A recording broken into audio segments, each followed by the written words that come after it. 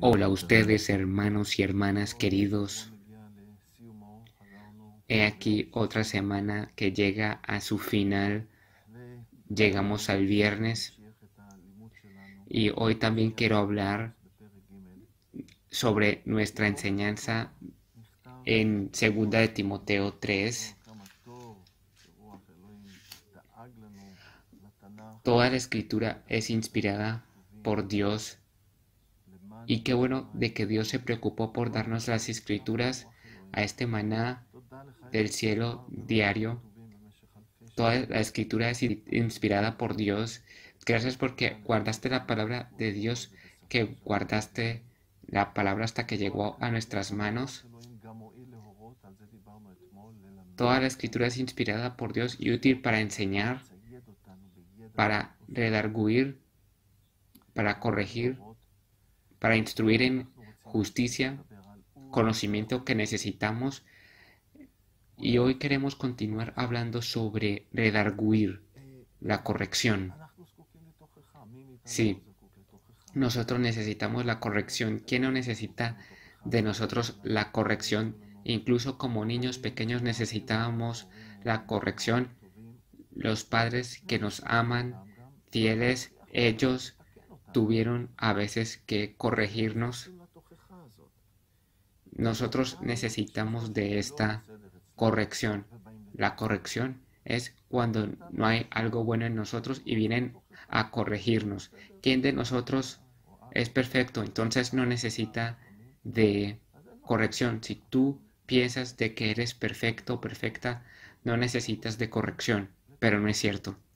Nosotros necesitamos de corrección y la palabra de Dios habla sobre esta corrección que es útil, que es bueno corregir.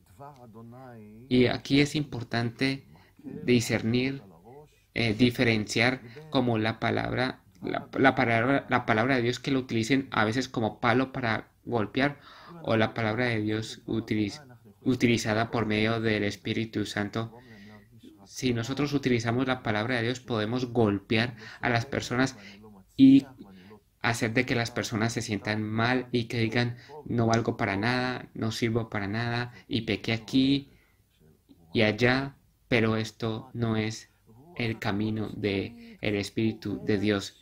El Espíritu Santo siempre cuando llama a las personas los llama porque les da les quiere dar una oportunidad de arrepentirse. Sí señala el pecado, señala la debilidad, pero esto siempre viene con un corazón de extender la mano. Ven, no te quedes allí. No te lo digo para culparte. Eh, te lo digo para comprarte, para corregirte, porque quiero lo mejor para ti. Dios es un Dios de amor y el Espíritu Santo, el Espíritu de Dios es un espíritu de amor. Así de que es cierto, las palabras son duras, pero vienen de amor y Dios se preocupa de explicar esto. Vamos ahora a Apocalipsis capítulo 2, cuando Jesús da corrección. Aquí hay algunos ejemplos de corrección. Tomemos la primera iglesia, Éfesos, y vean cómo Jesús habla después de que se presenta a sí mismo, habla sobre el pastor de esa iglesia, quien, quien es el representante de esta iglesia, y empieza hablando las cosas buenas y no primeramente señala lo, lo malo y critica, Dice así, versículo 2, yo conozco tus obras. Pongamos atención, Dios está poniendo atención a nuestras obras y tu arduo trabajo y paciencia y que no puedes soportar los malos y has probado a, a los que dicen ser apóstoles, él tenía celos, celo de Dios y has probado a los que se dicen ser apóstoles y no lo son y los, los apóstoles mentirosos que fueron antes, hoy en día hay profetas mentirosos fueron antes, hoy, hoy hay y habrán más porque Satanás es mentiroso, es mentiroso y estamos en los últimos tiempos y Jesús nos advirtió sobre esto.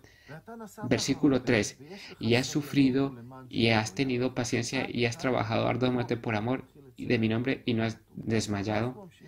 Y entonces Pero ahora en el versículo 4 dice, pero tengo contra ti que has dejado tu primer amor. Tengo un problema contigo, tengo algo contra ti. Tú has abandonado mi primer amor. Y esta misma congregación sabía cómo venía esto en expresión.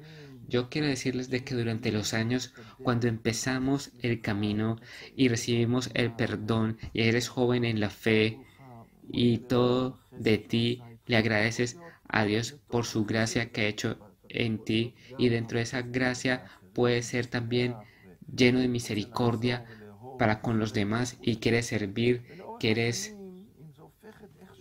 Pero durante los años puede convertirse eso en una rutina y una carga y mucho trabajo y puede que poco a poco tú pierdas ese primer amor y se convierta más bien en cosas legalistas, en duras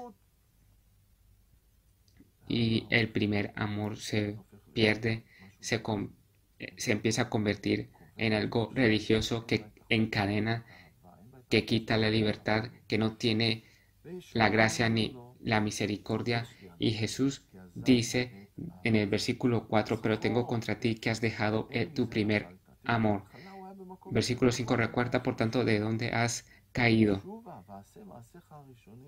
y haz las primeras obras, pues si no, vendré pronto a ti y quitaré tu candelero de su lugar, y si no te hubieres arrepentido.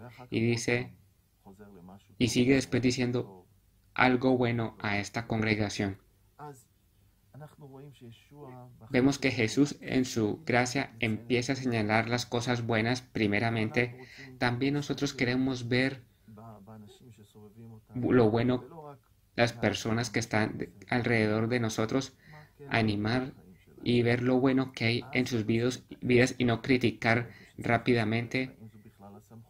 Y si es nuestra autoridad, corregir. No es que todos vayamos ahora a corregir a todos.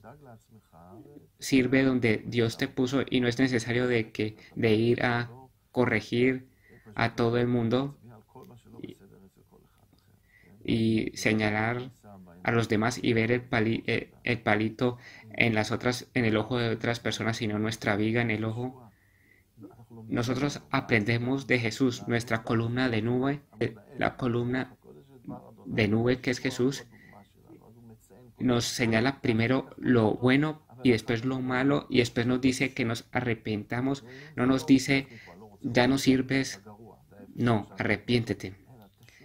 Sí, también hay una advertencia. Dice la verdad. Si no te arrepientes, quitaré tu candelero de su lugar. Versículo 5. Como dice Mateo 5, que somos la luz del mundo, que Jesús nos pone como candelero para que las personas nos vean y darán la gloria a nuestro Padre en el cielo porque él es el que obra por medio de mí. Pero si yo abandoné el, el camino de Dios, el Espíritu de Dios, rápidamente me bajo de allí y convierto esto en una religiosidad. Y dice Dios que quitaré tu candelero y tomaré otra persona. Nosotros queremos aprender hay corrección en la palabra de Dios y por supuesto hay que corregir y a veces no es agradable. ¿A quién de nosotros es agradable escuchar que lo corrijan a uno? Pero es para nuestro bien. Quiero que vayamos ahora a Romanos, Romanos 15. Romanos 15, versículo 4. Romanos 15, versículo 4. Porque las cosas que se escribieron antes para nuestra enseñanza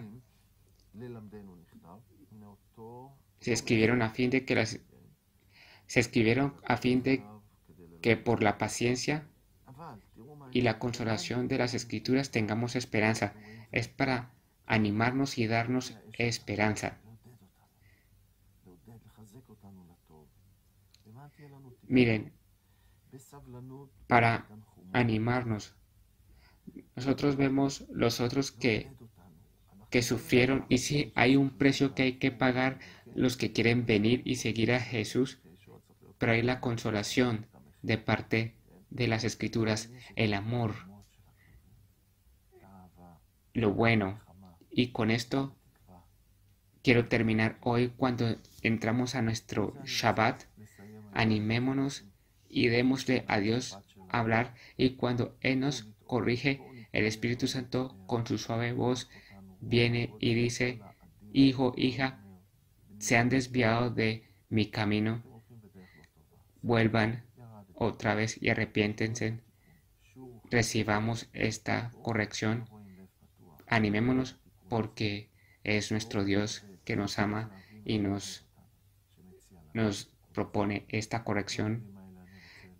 Que tengamos un gran mensaje mañana. Shabbat Shalom.